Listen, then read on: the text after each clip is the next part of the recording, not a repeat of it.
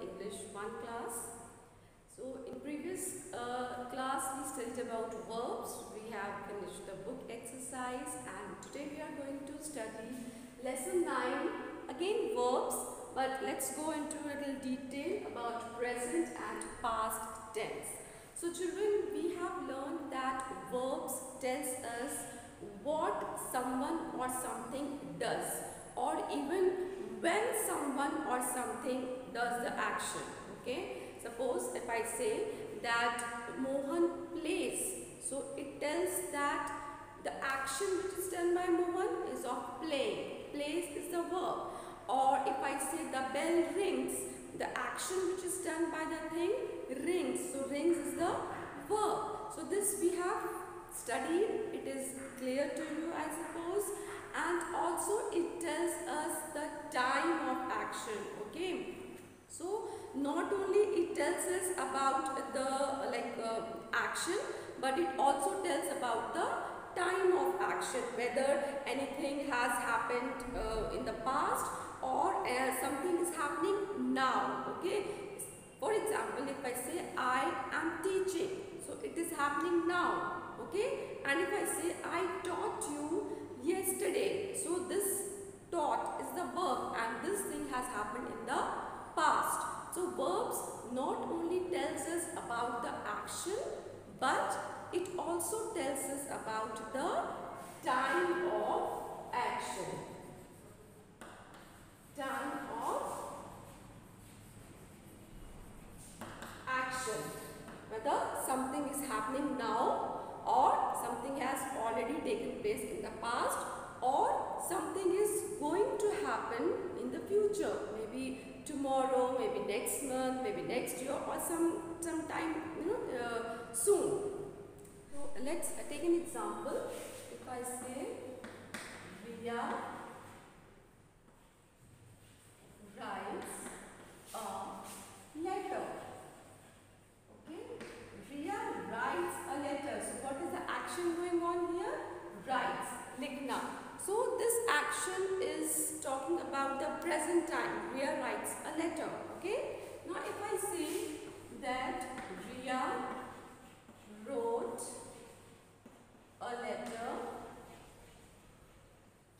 yesterday. Okay. Riya wrote a letter yesterday. Now again the action is of writing but it is yet it has been already done. It has taken place yesterday so it is in the past. So we will now write the past tense of the verb write and that is wrote. So this action is in present tense and this wrote it is in past tense. It is telling us something which is happening now and this action has already been taken place in the past that is yesterday okay? So Riya writes a letter this is present tense. Riya wrote a letter yesterday that is past tense okay? If I say I play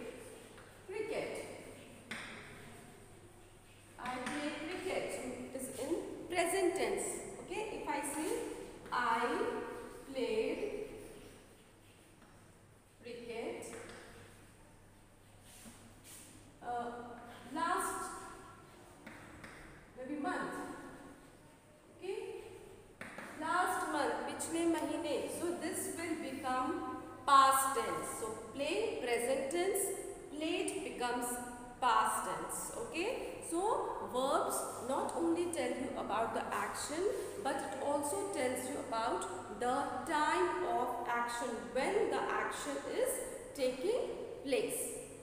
So now children we will see how we can form or we can change the form of verb in present or past tense okay so there are a few um, ways in which we can change the form of the verbs from present to past okay? Or from the original word how we can make it into proper present tense okay?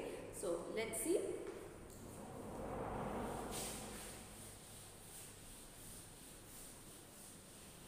okay first we will see about present tense let's start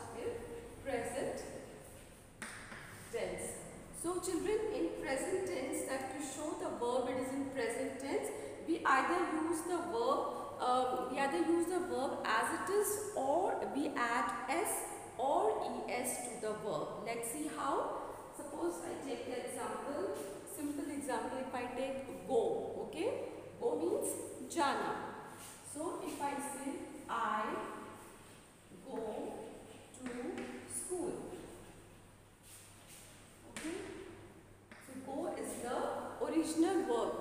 Okay? So we here we use the verb as it is and it is showing present tense. Now, if I take this word as uh, see I is first person and singular. It is one, no? I means only me. If I say you, you go to school. Again here you means it can be in singular or it can be plural. You can be used for singular as well as plural. But with you we use the original form of the verb go. Okay. Now if we make we, we go to school. So here also we see that the uh, verb remains in the same form. So I go to school, you go to school, we go to school. There is no change in the uh, verb. But now if I take, take change the subject as he, that is third person, he or she, okay, then what it will become? Goes. So with singular number, third person, we put es to the verb and it becomes goes. Okay? He goes to school. She goes to school. Okay? So with singular uh, subject, singular uh, the same um, third person subject, we add es to the verb and it becomes goes. And if I say they, so they means plural. So with plural we don't add es children. Okay. So again it will be go. They go to school. So what you have to understand basically with plu- singular we normally add es, but with I and you we don't add es to the verb. Okay. Again I am repeating. With I and you we do not add s or es to the verb. It remains in the original form. Okay. And with other singular forms like he, she, it, we add s or es to the verb. Like he goes to school, she goes to school. And with plural like we, hum it is plural. They go sab, it is plural. So we don't add s or es to the verb. Okay. Let us take one more example children so it will be clear to you.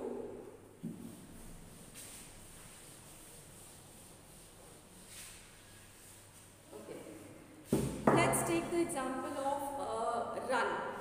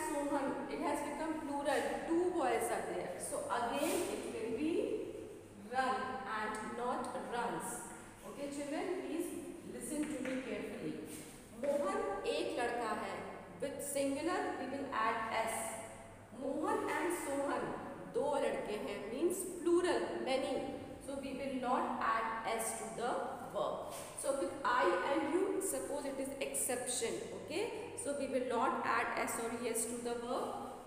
We, they, plural. Mohan, Sohan, plural. We will not add s or es to the verb. Now, we are talking when we are talking about any third person singular, like Mohan runs past, then only we will add s or es to the verb. So this is about present tense. Now, let's uh, take one more example of present tense where we add ies. Okay. So uh, the words that ends in y and it is in present tense, in that case we either use the verb as it is or we drop the final y and we add ies. So let's take the example of cry. Okay. So if I say I cry. As I said, with I will not add any s, es or ies. So it is I cry.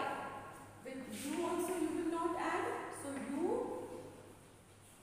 cry. There is no change in the uh, the same word verb.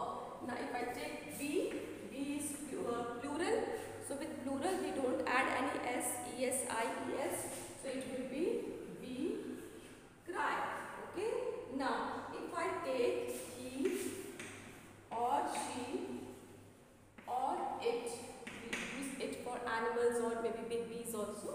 So he cries, she cries, it cries. Now see children, cry is ending with y. So what we will do? We will just remove y and place of y we add ies. So it becomes c r i e s. Don't write c r y s. It is wrong. Okay? He cries, she cries, it cries. So here we have added ies to the uh, verb.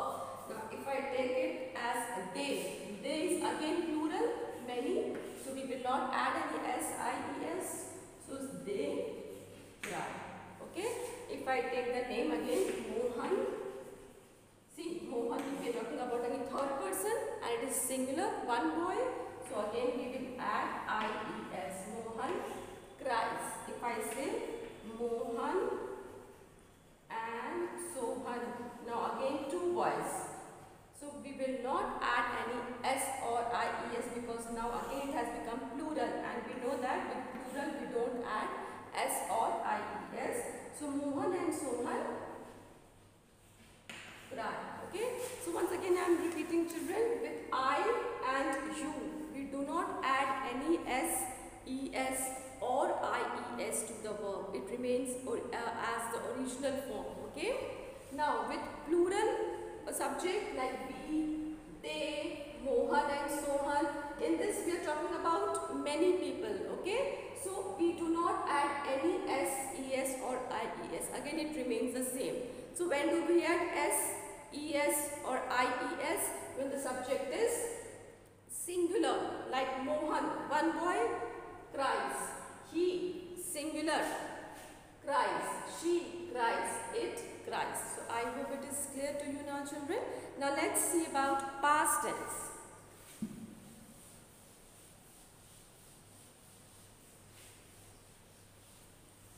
So in past tense how do we change?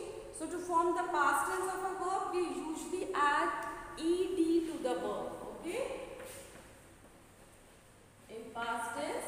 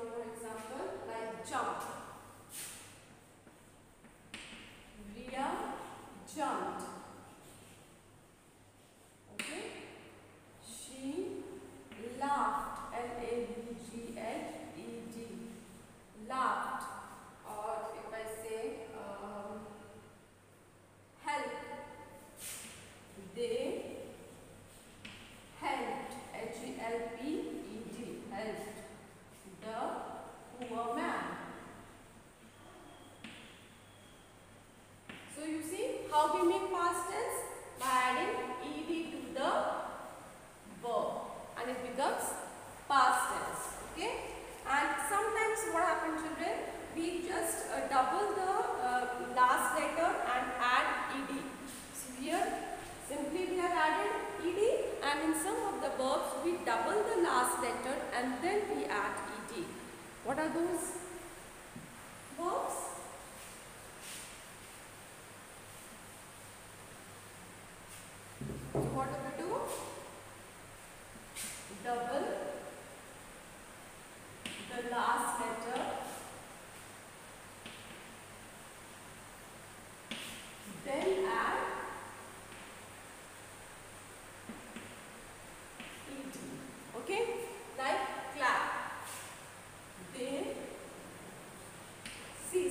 CLAP is the word no clap talia bajana CLAP is the verb.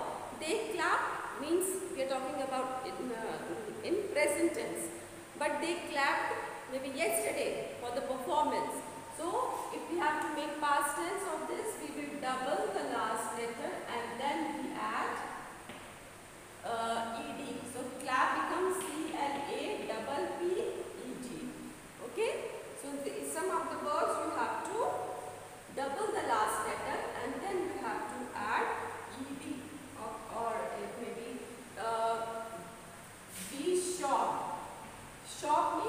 shopping karna. We shop, present tense, we shopped in the past. So S-H-O-P-P-E-D. So again we have doubled the last letter and added E-T. My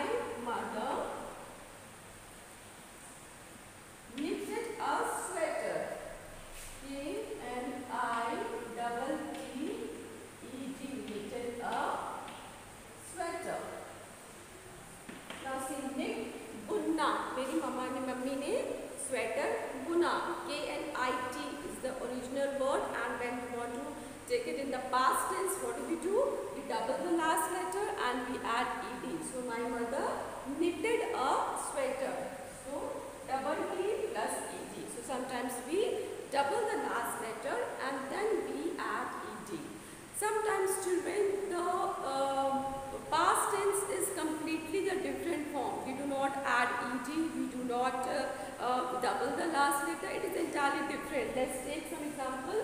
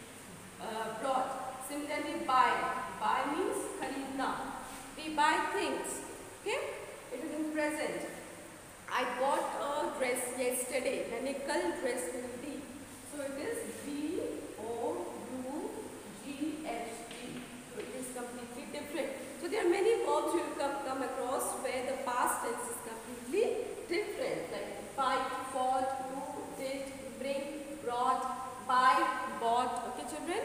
So this is um, there are a few ways in which we change from the original word to present tense by adding s, es, or ies, and how we change from the original word to past tense by adding ed, or sometimes uh, doubling the uh, like double the last letter and then add ed, and sometimes as you can see it is entirely different children. So this is all for today. I hope you have understood the chapter. Please read the chapter carefully and in the next class we will um, do the book exercise. Thank you.